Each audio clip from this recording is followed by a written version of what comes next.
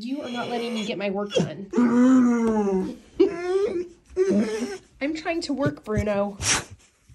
This is ridiculous.